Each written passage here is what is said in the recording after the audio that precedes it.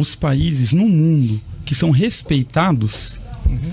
inclusive do G20, etc., são países que têm um grande poder bélico. Infelizmente, é um mundo de injustiça e violência. E os países se afirmam em sua soberania estrangeira dessa forma. Do mesmo modo, os países, no que diz respeito à soberania interna, eles possuem essa soberania uma vez que o Estado consegue monopolizar a violência. O Estado ser o único que detém a violência, principalmente a violência das armas. Quando pessoas, como o nosso deputado Tito Barrichello diz, ele na qualidade de polícia, e os outros policiais dizem que a população tem que se armar, eles estão assinando um atestado de fracasso próprio. Porque a, a missão de assegurar o patrimônio e a vida das pessoas é da polícia. E se a polícia é tão incapaz que diz que delega sua função para o cidadão comum, para acontecer as tragédias que nós vemos no, no dia a dia, é porque essa polícia ou ela é hipócrita, porque não apresenta, já que ela se vê incapaz, ela deve apresentar uma proposta política de transformação da própria instituição para que a instituição melhore, se fortaleça e dê conta de oferecer o serviço de segurança pública. Agora, se ela não apresenta essa solução e mesmo assim delega a sua função, é a pura hipocrisia.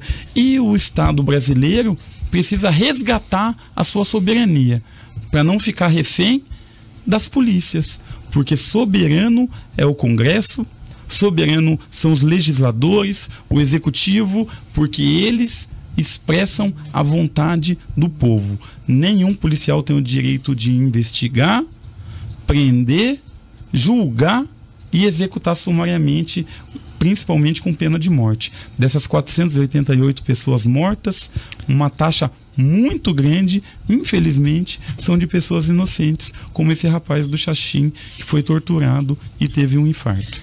O CAC não é policial. O CAC não exerce atividade de segurança pública. Será que tem que escrever isso?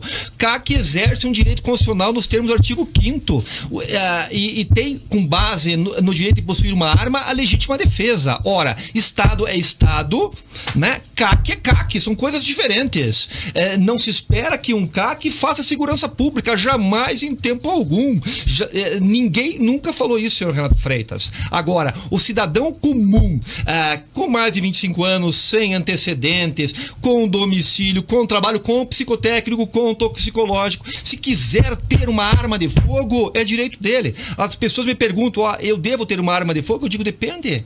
Você vai fazer um curso, você vai atirar, você se sente bem com uma arma de fogo? Se, se você se sentir bem, se você quiser fazer curso, cursos e tiver vontade de ter uma arma de fogo, tenha. Agora, se não, não tenha. Porque senão a arma de fogo passa a ser um problema. Então, eu eu defendo o cidadão honesto e o cidadão de bem. E o que, que é o cidadão de bem? É essa pessoa que se adapta nessa característica. Então, eu concordo é, é, com o, o, o, deputado Renato Freitas no sentido que o ius puniente pertence ao Estado. Mas o Estado não é onipresente, não é onisciente, não, não pode estar em todos os lugares ao mesmo tempo. Por isso, sem, de, sem perpassar a segurança pública, a segurança pública é dever do Estado e direito do cidadão, mas não é dever do cidadão, né? Porque eu, como policial, policial sou obrigado a agir aqui. Se houver um crime, os senhores não, é, não são obrigados a agir. Agem se quiserem. Então, é, a, o direito do cidadão de bem ter uma arma de fogo é algo subjetivo e discricionário no meu ponto de vista. E deve ter, ser regulamentado objetivamente com critérios